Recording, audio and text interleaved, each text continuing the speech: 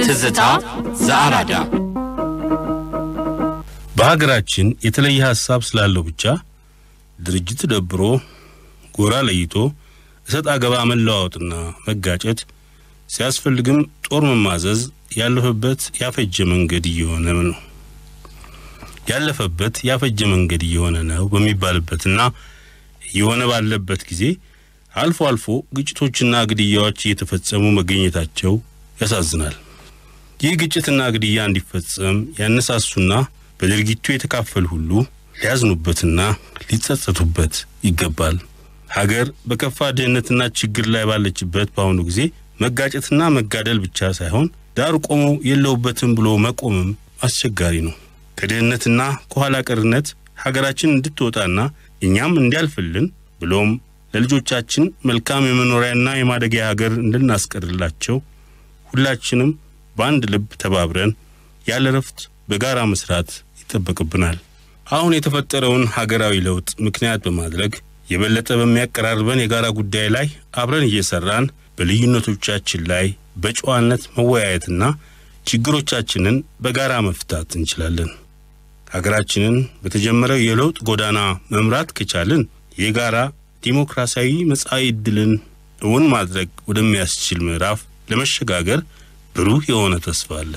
ይህ የለውጥ ጎዳና ከተሰናከለ ደግሞ እጅግ አስፈሪ ውጤት ሊያመጣ ይችላል። እንኳን እኛ በሀገር ውስጥ ያለነው የተለያዩ ሀሳቦች ያሉን ኢትዮጵያውያን ይቅርና ከዚህ መንግስት ጋር አንሰራም ብለው ጦር መዘው ዘገር ዘንቅጥቀው የነበሩ ተቃዋሚ ድርጅቶችም በሰላም ለመወያየት ለመደራደር እያሰቡም እየመጡም ይገኛሉ። ከነዚህ መሃል በቅርቡ ወደ አገር ቤት ለድርድር የገባው የኦሮሞ ዲሞክራሲያዊ ግንባር ይጠቀሳል። ዛሬ በትዝታችን የኦሮሞ ዲሞክራሲያዊ ግንባር ለድርድር ያቀረበውን ምክረ ሐሳብ አለፍ አለፍ እያን ለማየት እንሞክራለን። ጽሑፉን ወደ አማርኛ የመለሰልን ዘከሪያ መሐመድ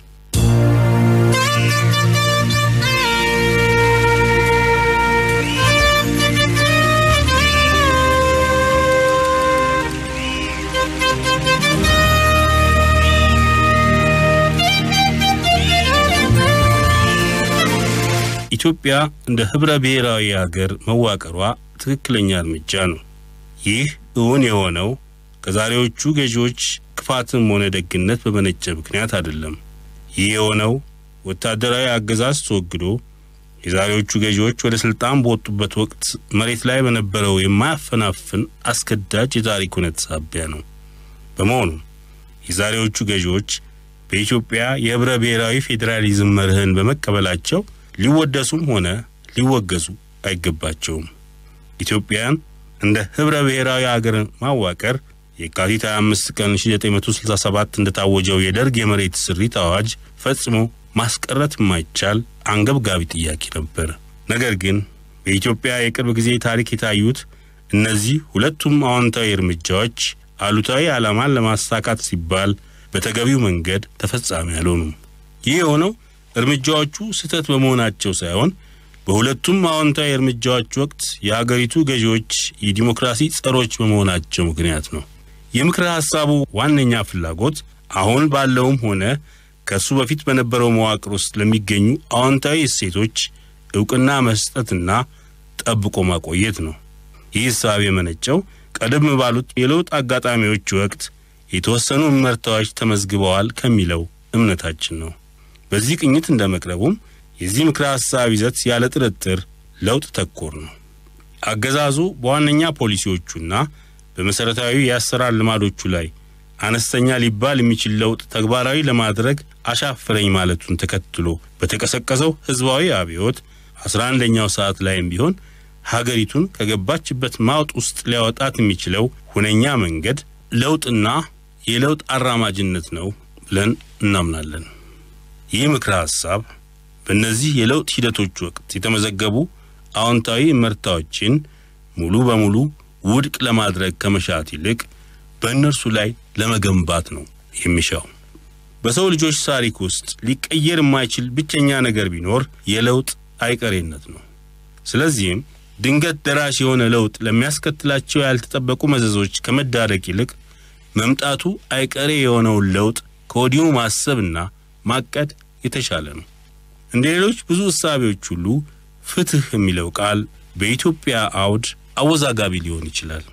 የማንኛውም መብት አጠቃቀም ሌሎች ሰዎች መብታቸውን በነጻነት ለመጠቀም ያላቸውን ችሎታ ተገቢ ባልሆነ መንገድ የሚጥስ እስካልሆነ ድረስ ፍትህ ለሁሉም እውን ይሆናል የሚለውን መርህ እንደ ምክረ ሐሳብ እናቀርባለን። ውይይት ብቸኛው አማራጭ ነው። ነገር ግን በመካሄድ ላይ ካሉ ግጭቶች ጀርባ ያሉ የአስተሳሰብ ፈለጎችን ትርጉም ባለው መልኩ ካልተመረመረ ምንም አይነት ውይይት ለፍጥጫው ሁነኛ መላ ማስገኘት አይችልም። መንገዱ የመጨረሻ ውጤቱን ይወስናል። አንድም የኢትዮጵያ የፖለቲካ ንቅናቄ ዲሞክራሲን አይቃወምም። በመካሄድ ላይ ያለው ትግል ዓላማው ዲሞክራሲያዊ ስርዓት መትከል ሊሆን እንደሚገባው ሁሉም ንቅናቄዎች ይስማማሉ። ስለዚህም በከፍተኛ ደረጃ የተከፋፈሉትን የአገሪቱ የፖለቲካ ንቅናቄዎች ወደ አንድነት የማምጣት አቅም ያለው እሴት ካለ ይህ የጋራ መሻት ነው። ስለሆነም ይህ እሴት ሊወደስ ሊጠበቅና ሊበረታታ የሚገባው ሀብት ነው። የውዝግቡ ርዕሰ ጉዳይ የመሆን አቅም ያለው ምናልባት በዲሞክራሲ ሂደትና የእውነተኛ ዲሞክራሲያዊ ማህበረሰብ ምሰሶዎች ሆነው በሚያገለግሉት ተቋማት ጥራት፣ ገለልተኝነት፣ የሙያዊ ብቃት ደረጃና ግልጽነት ላይ ከማተኮር ይልቅ ተገቢ ባልሆነ ደረጃ በውጤቱ ላይ የሚደረገው ትኩረት ነው። አወዛጋቢው ጥያቄ ለዲሞክራሲ የሚደረገው ትግል እንዴት ነው መካሄድ ያለበት የሚል ነው። በተለይም ደግሞ ምን አይነቱ የትግል መንገድ ነው ወደ ዲሞክራሲ ሊያደርስ የሚችለው? የትኛውስ ነው ማያደርሰው? የቅርብ ዘመኑን የኢትዮጵያ ታሪክ መለስ ብሎ በማጤን የእነዚህን ጥያቄዎች መልስ ማግኘት ይቻላል። ባለፈው ግማሽ ክፍለ ዘመን የተለያዩ አጋጣሚዎች የኢትዮጵያ የፖለቲካ ንቅናቄዎች ዲሞክራሲን ለማምጣት የትጥቅ ወይም የነውጥ ትግልን እንደ ስልት ተጠቅመዋል። ታዲያ በሁለቱም አጋጣሚዎች ለማሳካት የሻቱትን ግብ እውን ለማድረግ ሳይችሉ ቀርተዋል። የሌሎች በርካታ ሀገራት ተሞክሮዎችም ይህንኑ የትጥቅ ትግል አሳዛኝ ውጤት ነው የሚያስረዱት። እዚህ ላይ የሚከተለውን ተንኳሽ ጥያቄ መጠየቅ ተገቢ መስሎ ይታያል። እብደት ምንድን ነው? የጥያቄውን ያህል ተንኳሽ የሆነ መልስ አንድ ተመሳሳይ ነገር አሁንም አሁንም ደጋግሞ መስራትና የተለየ ውጤት መጠበቅ የሚል ነው። በዚህ ምክንያት ዲሞክራሲ በእውነት የጋራ ህልማችን ከሆነ የትጥቅ ትግልን በተመለከተ ያለንን እይታ ዳግም መመርመር ይኖርብናል። የትጥቅ ትግል ከዚህ በፊት ዲሞክራሲን እውን በማድረግ አልተደመደመም። ወደፊትም ዲሞክራሲን እውን በማድረግ የሚደመደም አይመስልም። ቆም ብለን ለማሰብ ፈቃደኛ ከሆንን የትጥቅ ትግል ውጤቱ እንዲህ አሳዛኝ ሊሆን የቻለበትን ምክንያት በቀላሉ መረዳት እንችላለን። ጠመንጃን የሚጠቀም ማንኛውም ቡድን ስልጣን ላይ በሚገኝ አምባገነን ላይ ድል ለመቀዳጀት የሚችለው በአንድ ሁኔታ ብቻ ነው። ያም ሁኔታ ለዲሞክራሲ ጸር በሆኑ ባህሪያት ማለትም በምስጢራዊነት ከላይ ወደ ታች ለሚወርድ ትዕዛዝ ያለ ጥያቄ የመገዛት ባህልን በማስፈንና የተለየ ሐሳብን ባለማስተናገድ በስልጣን ላይ ካለው መንግስት መላቅ ነው። በስልጣን ላይ ያለውን አምባገነን ለማሸነፍ ሲባል በእነዚህ ኢ ዲሞክራሲያዊ ባህሪያት መላቅ አስፈላጊ በመሆኑ ምክንያት የትጥቅ ትግልን በሚያካሂደው ንቅናቄ ውስጥ የመጀመሪያ ቁስለኛ የሚሆነው ዲሞክራሲ ነው። ራሱ ጸረ ዲሞክራሲያዊ የሆነ ንቅናቄ ደግሞ የዲሞክራሲያዊ ስርዓት ሐዋርያ እንዲሆን መጠበቅ አይቻልም። ማንም ቢሆን በውስጡ ዲሞክራሲን አቀጭጮ በውጫዊ መድረክ ላይ ዲሞክራሲን ተግባራዊ ሊያደርግ አይችልም። በሌላም በኩል በውስጣዊ አሰራሩ ዲሞክራሲያዊ የሆነ አንድም ንቅናቄ አምባገነን ስርዓትን ለመጣል የሚደረግ ትግል የግድ የሚለውን የተራዘመ የትጥቅ ትግል በተሳካ ሁኔታ ማካሄድ ሰምሮለት አያውቅም። ስለዚህም የትጥቅ ትግል ወደ ዲሞክራሲ ለመምራት ብቃት የለውም። ይልቁንም የትጥቅ ትግል አንድን አምባገነን ከእርሱ በላቀ ደረጃ ጨቋኝ የሆነ ሌላ አምባገነን የመተካት አማራጭን ነው ሊያሳካ የሚችለው። ከዚህ መጥፎ አዙሪት ለመውጣት የሚቻለው በስልጣን ላይ ያለውን መንግስት ለዲሞክራሲ የሚታገሉ ኃይሎችን ወደ ጠመንጃ አማራጭ እየገፋ ነው የሚለውን የተለመደ ወቀሳ በማቅረብ ብቻ ነው። በግልጽ እንደሚታወቀው አምባገነን መንግስት ከምንም ነገር በላይ የሚፈራውና የሚጠላው ዲሞክራሲን ነው። በዚህም ሳቢያ ተቀናቃኞቹን እርሱ የበላይነት በሚያገኝበትና ዲሞክራሲያዊ ባልሆነ ጎዳና ላይ እንዲገጥሙት በስልት ይገፋፋቸዋል።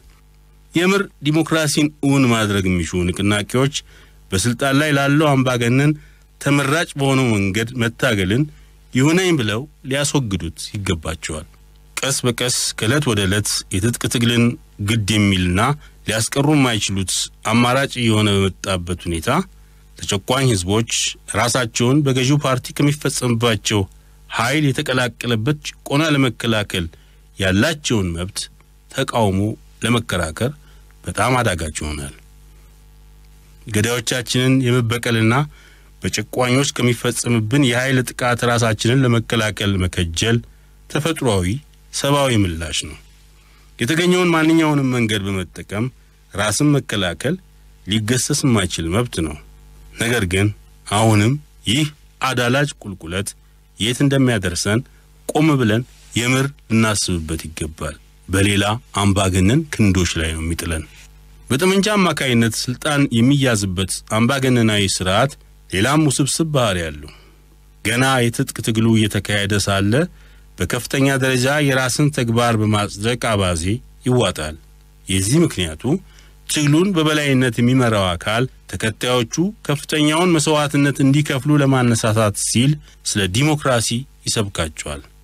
እንዲህ አይነቱ አመራር በመጨረሻ የዲሞክራሲ አይነተኛ ምንነትና መገለጫው እርሱ ብቻ እንደሆነ ወደ ማሰብ ያመራል። ኋላም በዚሁ አመራር ላይ ምንም አይነት ሂስ መሰንዘር ዲሞክራሲን እንደ መቃወም ተደርጎ ሊወሰድ የሚችልበት ሁኔታ ይፈጠራል። ስለዚህም ለምሕረት የለሽ አፈና መዳረግን ያስከትላል። እንዲህ አይነቱ አምባገነን ወደ ስልጣን ከመጣ በኋላ በትግሉ ላይ የተሰዉ ሰማዕታትን ማነሳሳት ይወዳል። ያለማቋረጥ የሰማዕታቱ ዕዳ አለብን እያለ በኃይለ ቃል ለሕዝብ ይደሰኩራል። ይህ ዕዳ መች እንደሚከፈል ግን አይገለጽም። ስለዚህም ሙታኑ ከሕያዋን በላይ ሆነው ነገሮች ላልተወሰነ ጊዜ ይቀጥላሉ። አስተያየታቸውን ለመግለጽ በማይችሉት በእነዚህ ሙታን ስም አሉ የተባሉ ወንጀሎች ሁሉ ሊፈጸሙ ይችላሉ። በተጨማሪም በትጥቅ ትግል ወቅት የትግሉ ባለቤትነት በማያቋረጥ መልኩ እየጠበበ በመሄድ በመጨረሻ በምስጢረኞቹ ሴረኛ ከፍተኛ አመራሮች ከዚያ ባስ ሲልም የአመራሩ ቁንጮ በሆነው ግለሰብ ቁጥጥር ስር ይወድቃል። ይህም በተራው ለግለሰብ አምልኮ በር ይከፍታል። ይህ የትጥቅ ትግል ተፈጥሯዊ ባህሪ እስኪመስል ድረስ በዓለማችን ታሪክ በተደጋጋሚ ተከስቷል።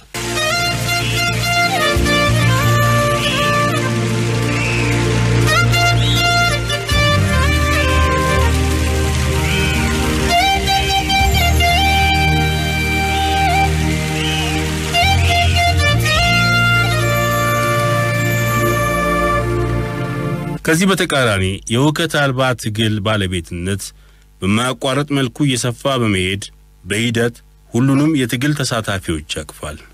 እንደ እውነቱ ከሆነ ሁከት አልባ ትግሎች ስኬታማ ሊሆኑ የሚችሉበት ብቸኛ መንገድ ሰፊ የሕዝብ ባለቤትነት እና በትግሉ ውስጥ የሕዝቡን የነቃና ፈጠራ አከል ተሳትፎ በማረጋገጥ ነው። መጠነ ሰፊ የሕዝብ ተሳትፎን እውን ለማድረግ ሲባልም የሁከት አልባ ትግል ዓላማና ስትራቴጂዎች በይፋ ነው የሚታወጁት። በዚህም መልኩ በሕዝብ ባለቤትነት ስር ከዋሉ በኋላ የትግሉ ባለቤትነት የሚጠብበት መንገድ ለምንጊዜውም ይዘጋል። በአጠቃላይ የሁከት አልባ ትግል የመጨረሻ ዓላማ በይፋ የሚታወጅና ትግሉም በከፍተኛ የውስጣዊ ዲሞክራሲ መንፈስ ተሞልቶ በግልጽ ስለሚካሄድ በመጨረሻ ዲሞክራሲያዊ ስርዓትን በማስፈን ሊደመደም ይችላል። ሁከት አልባም ሆነ የትጥቅ ትግሎች በሚካሄዱበት ወቅት ግለሰቦች የሕይወት መስዋዕትነት መክፈላቸው አሳዛኝ ቢሆንም አይቀሬ ነው።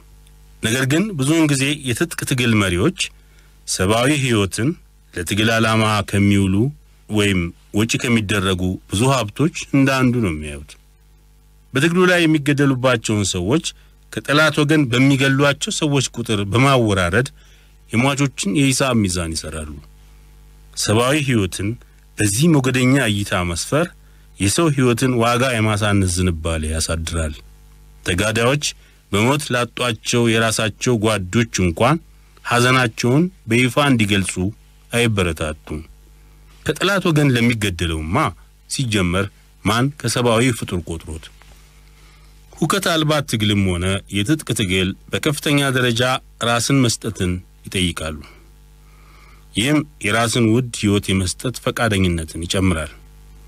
ይህም ሆኖ የትጥቅ ትግል ተሳታፊዎች የባላንጣቸውን ሕይወት መቅጠፉ ያን ያህልም ግድ አይሰጣቸውም። የዚህ ግዴለሽነት ምንጩ ሌላ ሳይሆን የራሳቸውን ሕይወት ለመሰዋት ወስነው ወይም ራሳቸውን ሰጥተው በመሰለፋቸው ምክንያት ነው። ከዚህ በተቃራኒ ሁከት አልባ ትግል የማንም ሕይወት መጥፋት የለበትም የሚል መነሻ ይዞ ነው የሚካሄደው። ከየትኛውም ወገን ሕይወት ሲጠፋ ይታዘናል። የሁከት አልባ ትግል ተሳታፊዎች የሰውን ሕይወት ኢላማ አያደርጉም። አስፈላጊ ከሆነ የራሳቸውን ሕይወት ለመስጠት ነው የሚያልሙት። የሁከት አልባ ትግል ተሳታፊዎች ለራሳቸው ሕይወት ዋጋ የሚሰጡትን ያህል ለሚያሰቃዩቸው ሰዎች ሕይወትም ዋጋ ይሰጣሉ። በሁከት አልባ ትግል ሂደት ላይ የማንኛውም ሰው ሕይወት ሲጠፋ ሕዝቡ አደባባይ በመውጣት ሐዘኑንና ለሰማዕቱ ያለውን ለሰማዕቱ ሕይወት ያለውን ክብር ይገልጻል። የትጥቅ ትግልና ሁከት አልባ ትግል ስልጣን ላይ ባለው አምባገነናዊ መንግስት ውስጣዊ አንድነት ላይ ተቃራኒ ውጤቶች ያሳድራሉ። የትጥቅ ትግል በስልጣን ላይ ያለውን አካል እንደ አህዳዊ ውቅር የማየት ዝንባሌ አለው። የሚሻውም ይህን አካል በኃይል መገርሰስ ነው። የአምባገነኑ ስርዓት ከፍተኛ አመራር በእርሱ ላይ ያነጣጠረውን ስጋት ከእርሱ ጋር ማናቸውንም ነገር በሚጋሩ ሁሉ ላይ የተነጣጠረ በማድረግ ይህን ውጫዊ ስጋት ለራሱ ዓላማ መጠቀሚያ ያደርገዋል። የታጣቂው ተቃዋሚ ፕሮፓጋንዳ ዲስኩሮች የአምባገነኑን ከፍተኛ አመራር ለማወገዝ የበለጠ ትኩረት ይሰጡ ይሆናል። በተግባር ግን ውግዘቱ እያደገና እየሰፋ በመሄድ የአምባገነኑን ከፍተኛ አመራር አቅፎ የያዘውን ማህበረሰብ ለማካተት አደጋ የተጋለጠ ነው። የአምባገነኑ ከፍተኛ አመራር በሚገዛው ማህበረሰብ ውስጥ የሚፈጠረውን ይህን ፍርሃት ለማግነን ማድረግ የሚችለውን ሁሉ ከማድረግ አይቦዝንም። በተቃራኒው ሁከት አልባ ትግል በአምባገነኑ ሰፈር ውስጥ ባሉ አንጃዎችና የተለየ አመለካከት በሚያራምዱ ቡድኖች መካከል ያለውን ልዩነት የሚያሰፋ ሽብልቅ የማስገባት አቅም አለው። ሁከት አልባ ትግል አምባገነናዊ ስርዓትን እንደ አህዳዊ ውቅር አይመለከትም። ይልቁንም የሰብአዊ ፍጡራን ስብስብ አድርጎ ነው የሚመለከተው። ሁከት አልባ ትግል በአምባገነኑ አምባ ውስጥም ቢሆን ሕሊና ያላቸው ግለሰቦች የመኖራቸውን ሀቅ በደፈናው አይክድም። ሁከት አልባ ትግል ጉዳዩ የሚመለከታቸውን ሰዎች ሁሉ ሕሊና ለመኮርኮር ሲል የምግባር ሙግቶችን ይጠቀማል። አንዳንድ ሰዎች በአምባገነኑ ሰፈር ውስጥ ቢሆኑም ቅሉ ይህን ለመሰለው ምግባር ተኮር ሙግት የመሸነፍ ዝንባሌ ያላቸው። ይህም በመሆኑ ሁከት አልባ ትግል በአምባገነኑ ሰፈር በሚገኙ ለዘብተኞችና ጽንፈኞች መካከል እንደ ሽብልቅ ገብቶ የመለያየት አቅም አለው። የኦሮሞ ዲሞክራሲያዊ ግንባር የኦሮሞ ዲሞክራሲያዊ ግንባር ለድርድር ያቀረበው ምክረ ሀሳብ አላለቀም። ሳምንት ቀሪውን ክፍል ይዘን እንቀርባለን። ባለፈው ሳምንት የኦሮሞ ዲሞክራሲያዊ ግንባር ለድርድር ያቀረበውን ምክረ ሀሳብ በከፊል አስደምጠን ነበር። ቀሪውን ደግሞ ዛሬ ይዘን መጥተናል። ጽሑፉን ወደ አማርኛ የመለሰልን ዘከሪያ መሐመድ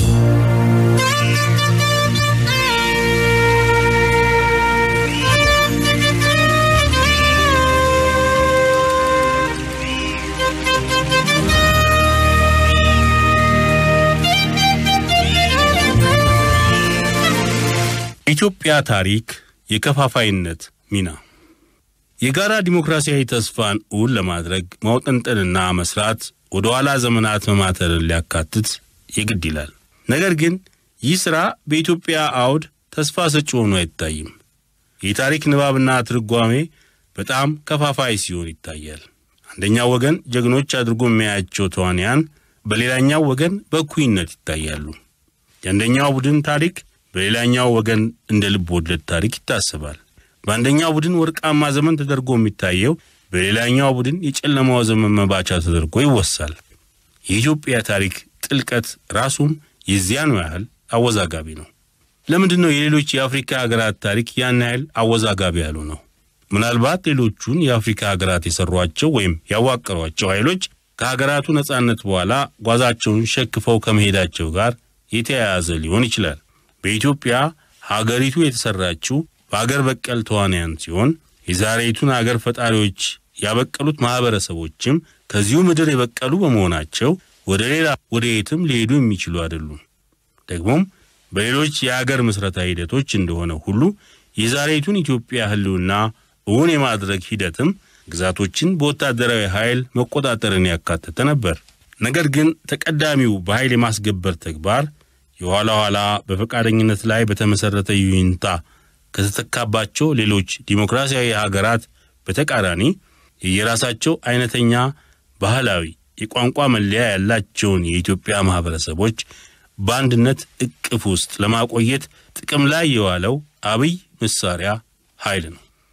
በመሆኑም ኢትዮጵያ መቼና እንዴት ነው አንድ አገር የሆነችው የሚለው ጥያቄ ዛሬም በጋለ ስሜት ክርክር የሚካሄድበት ርዕስ ሆኗል።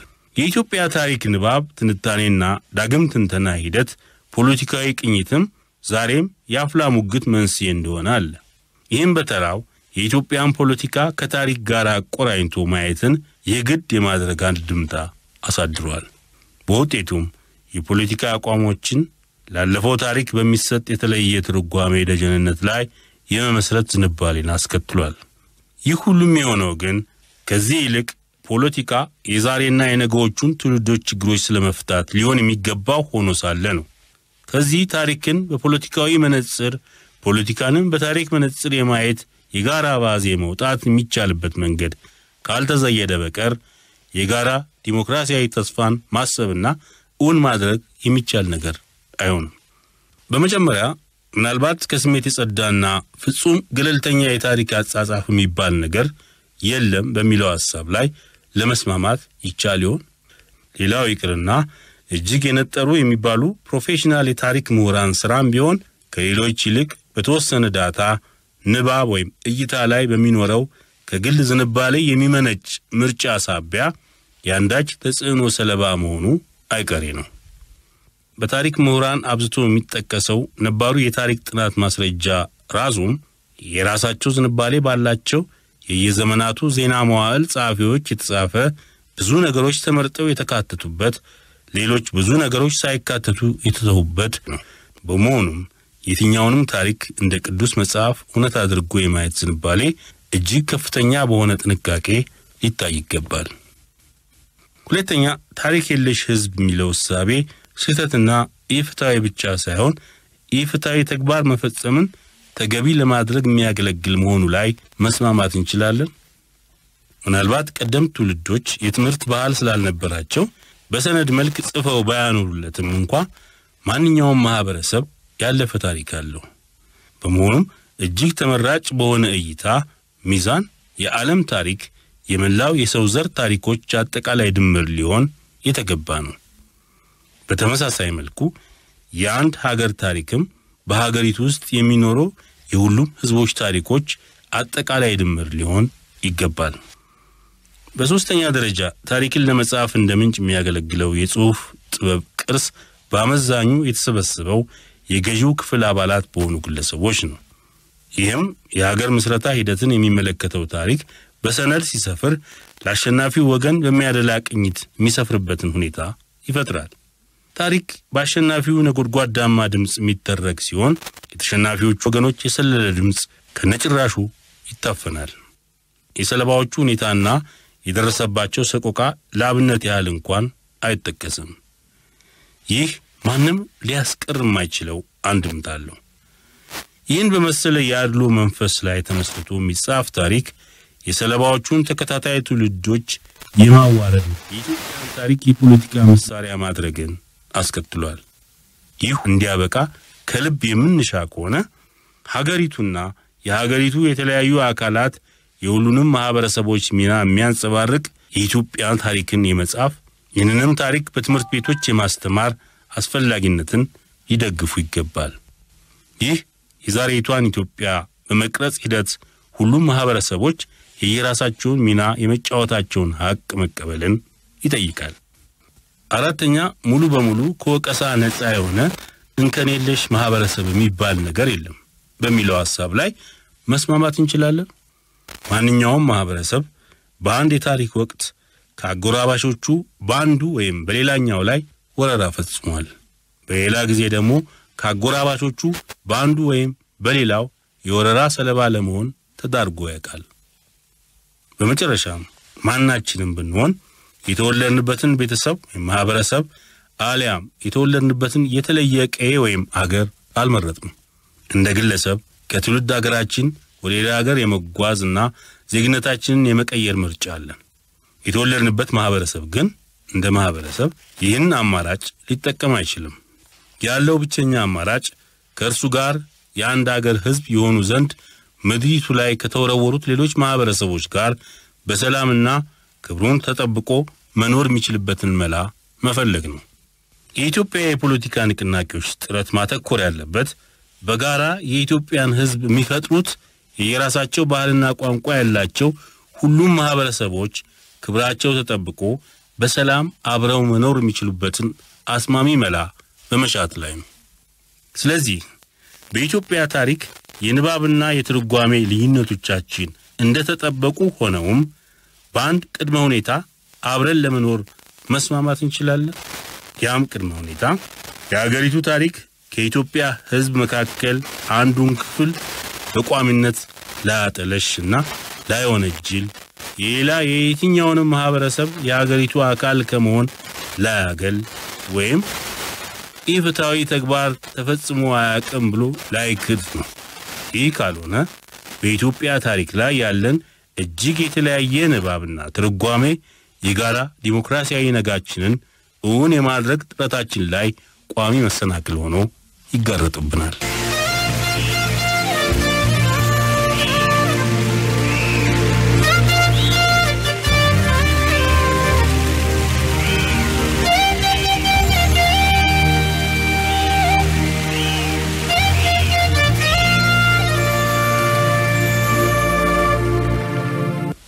የራስን ዕድል በራስ የመወሰን መብት የጋራ ዲሞክራሲያዊ ተስፋችን እውን ለማድረግ ባለን የጋራ መሻትና መላ የመፈለግ ጥረት ውስጥ ልናስቀር ከማንችላቸው እጅግ አወዛጋቢ ጉዳዮች አንዱ ኦሮሞዎችን ጨምሮ ከሀገሪቱ ሕዝብ ወደ ግማሽ የሚጠጉት የተገፉ ቡድኖች የሚያነሱት የራስን ዕድል በራስ የመወሰን መብት ነው።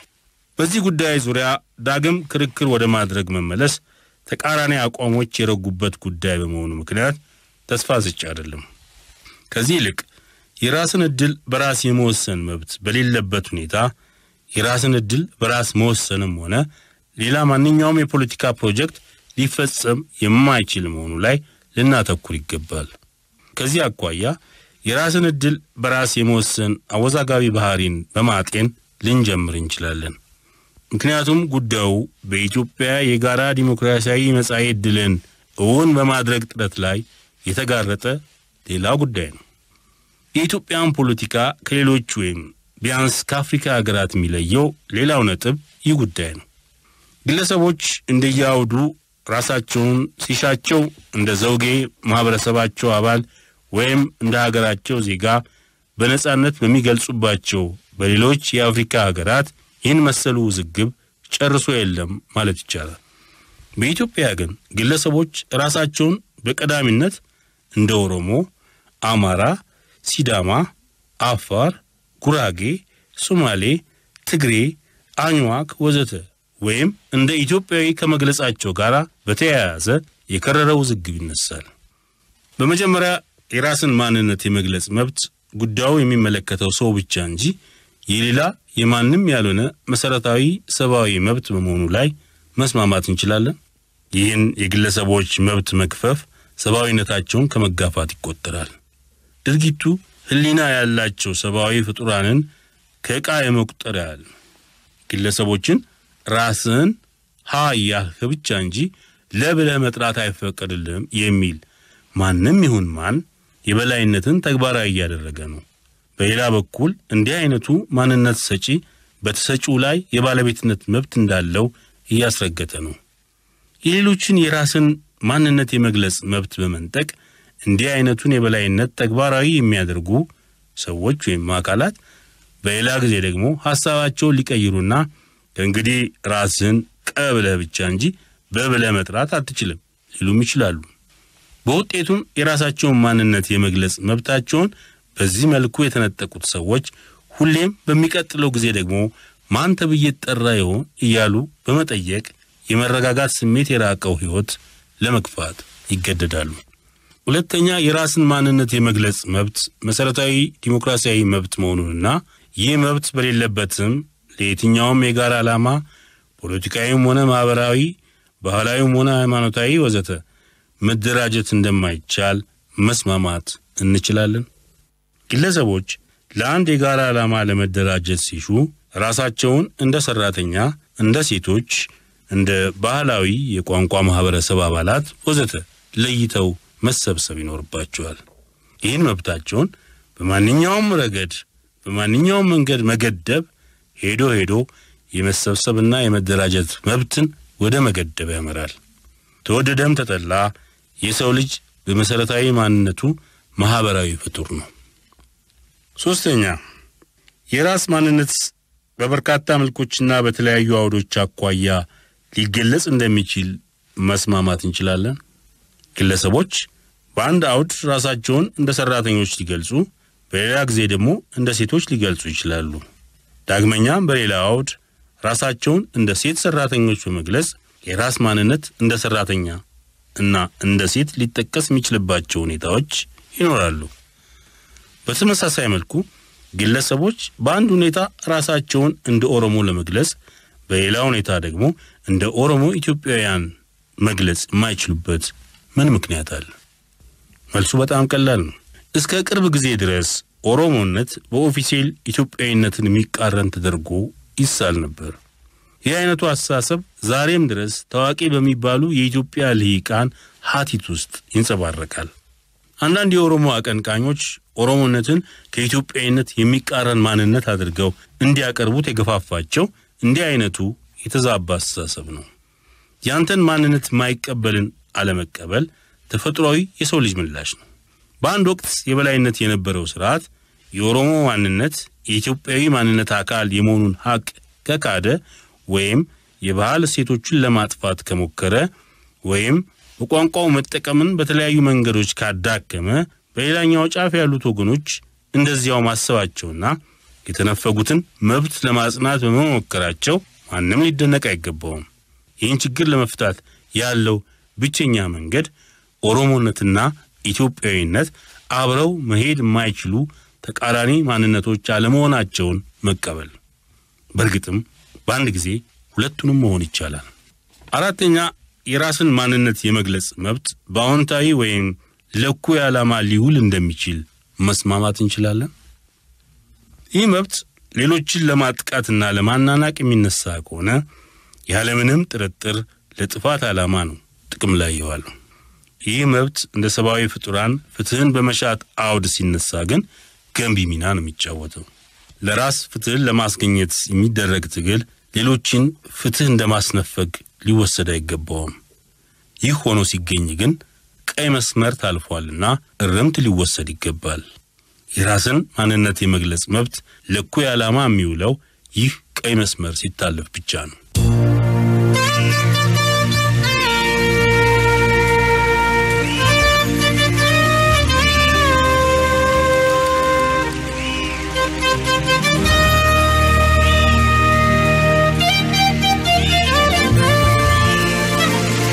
አካታች ለውጥን እንደምን ተቋማዊ ማድረግ ይቻላል?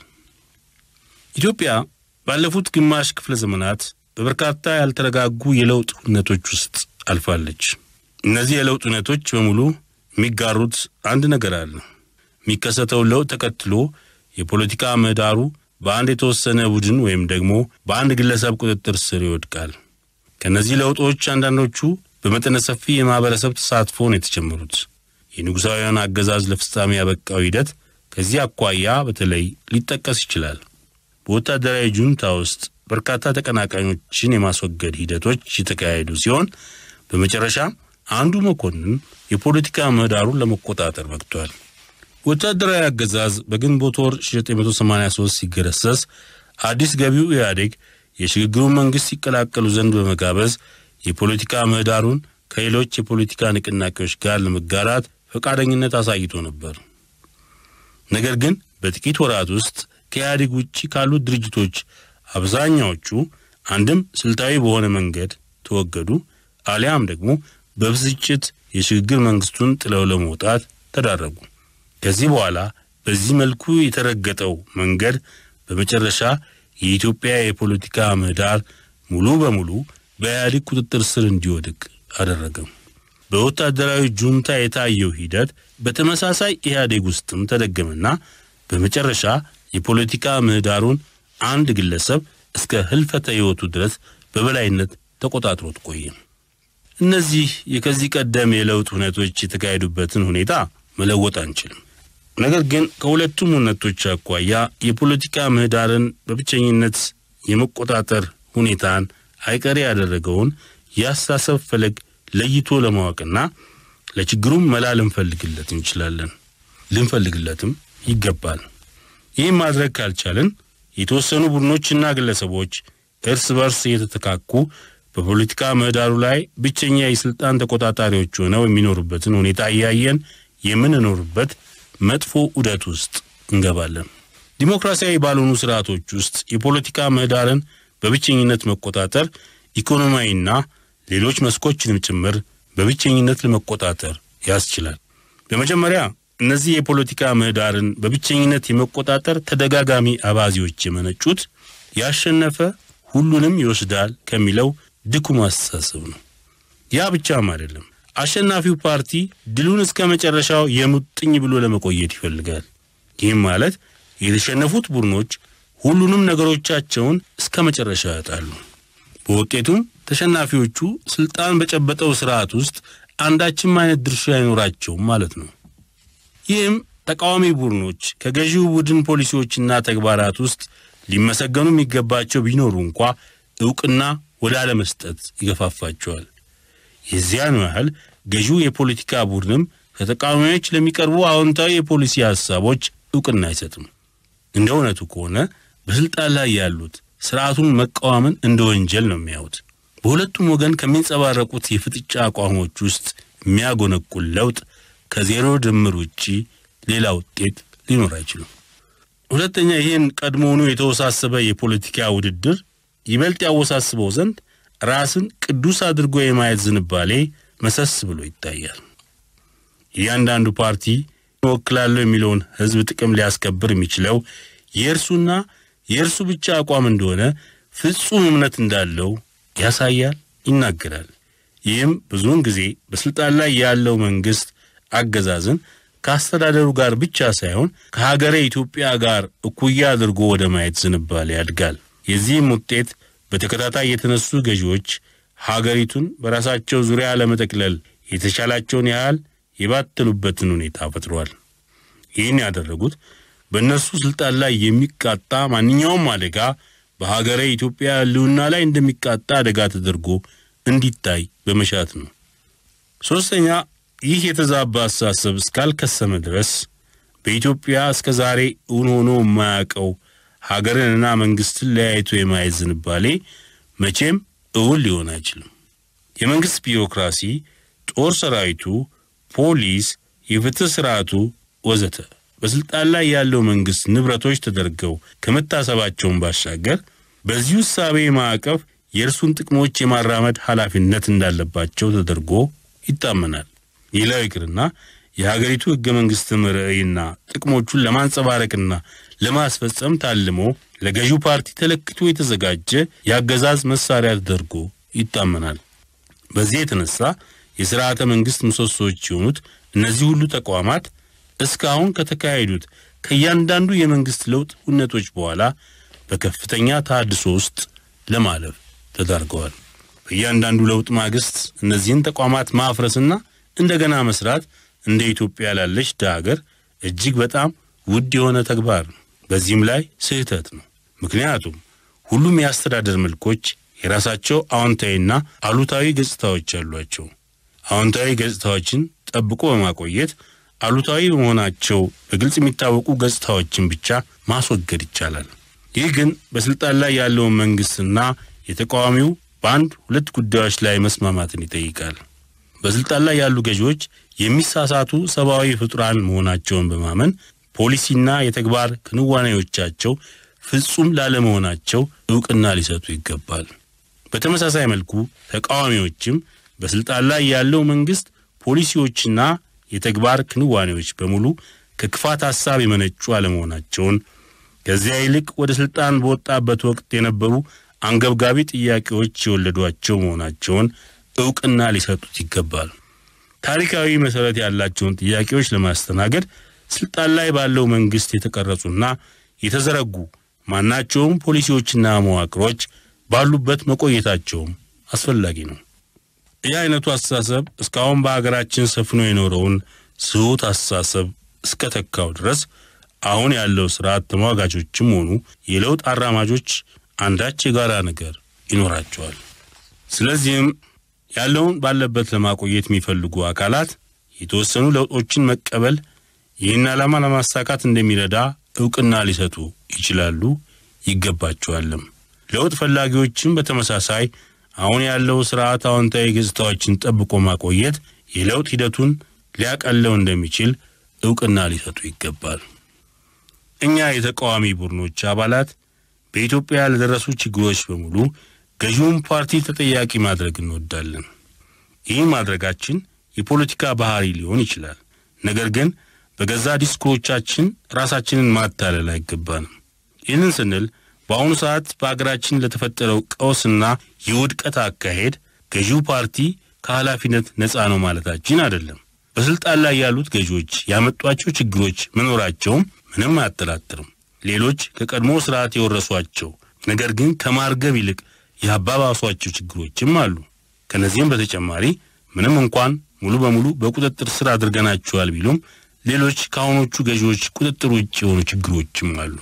ለምሳሌ የአየር ንብረት ለውጥ ችግር ሀያል በሆኑት ሀገሮች አቅምም እንኳ ሊመከት ያልተቻለ እውነተኛ ችግር እየሆነ መጥቷል። በኢትዮጵያ አውድ ደግሞ ይህ ፈተና እየደረሰ ባለው የተፈጥሮ ሀብቶች መቆርቆዝና መበከል እንዲሁም በከፍተኛ ቁጥር እያሻቀበ ባለው የሕዝብ ቁጥር ሳቢያ ይበልጥ እየተወሳሰበ በመሄድ ላይ ይገኛል።